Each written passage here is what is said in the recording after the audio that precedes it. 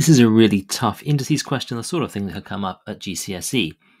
We need to notice that the 9 and the 27 are both powers of 3, so 9 is 3 squared, so the numerator here is 3 squared to the 2x minus 1, which using the rules of indices is 3 to the 2 times 2x minus 1, or 3 to the 4x uh, minus 2.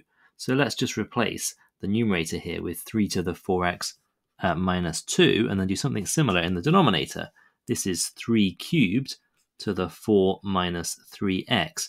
So again, this is 3 to the 3 times 4 minus 3x, which is 3 to the 12 minus 9x. Then on the right hand side, I've got 1. Now 1 could be written as a power of 3 by writing it as 3 to the 0, because anything to the power of 0 is always 1. Now using the division rule for indices here, I've got 3 to the 4x minus 2 minus 12 minus 9x is equal to 3 to the 0.